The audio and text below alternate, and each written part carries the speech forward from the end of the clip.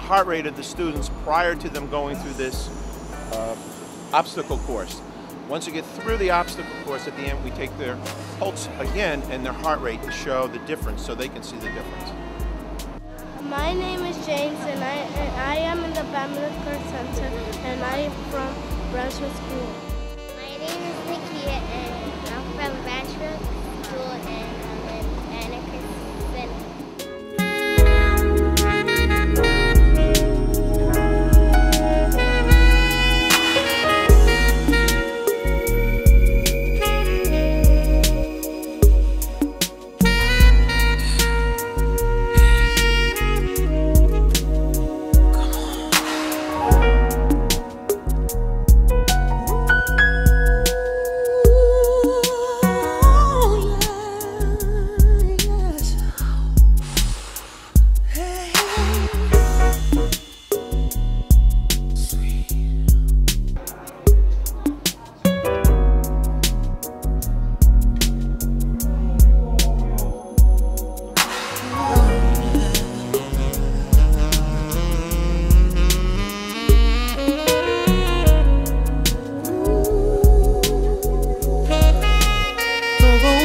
away,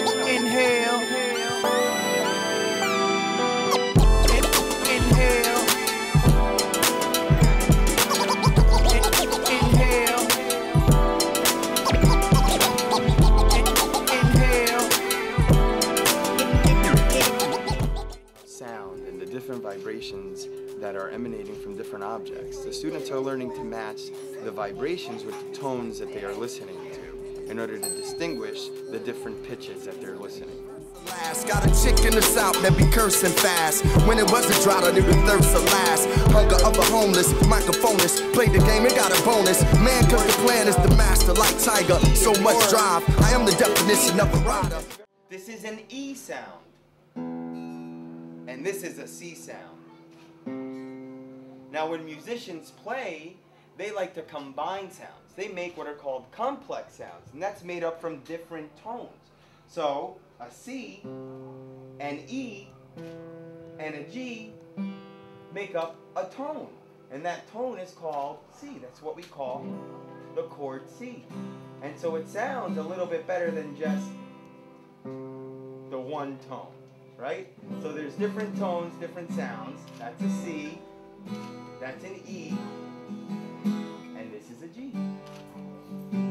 Now, I'll tell you what, you have learned so far that sound is made from vibrations and that the sounds will travel. Now, sounds can travel through air. The reason why you're hearing my voice right now is because the sound is coming from my throat and it's traveling through the air and you're hearing it into your ear.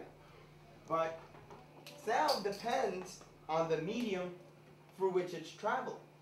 This is oxygen, what we're breathing, right? And if you put your hand to your throat and you make a sound, go ahead and do it. Uh, what do you feel? Uh, you feel a vibration of your throat. That's what makes the tone of your voice.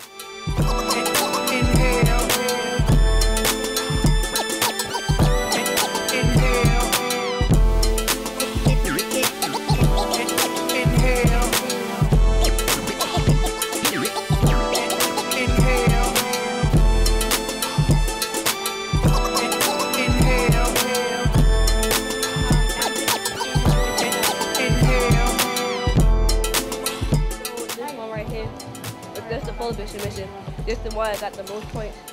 And we trying to um get it right there the um with the red thing. And um so we can have more points. But we have to get the um bit and it have to be flat down on the ground to get more points.